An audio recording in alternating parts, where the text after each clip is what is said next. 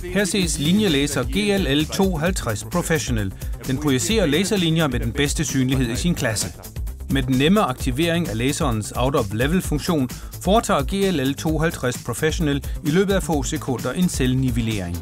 Takket være den lodrette og den vandrette laserlinje har den mange forskellige anvendelsesmuligheder.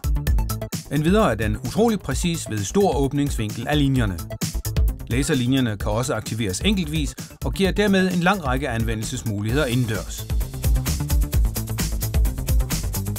Pendullåsen kan nemt fixeres, så det er muligt også at projicere skrå linjer. Præcist arbejde såsom lige lægning af fliser, opsætning af mellemvægge eller justering af trappegelænder er med GLL 250 ikke længere noget problem. Ved hjælp af modtageren har GLL 250 Professional en rækkevidde på op til 50 meter. Modtageren angiver med både lysdioder og et akustisk signal, så snart laserstrålen rammer modtageren. Præcise linjer, stor synlighed. Linjelæser GLL 250 Professional.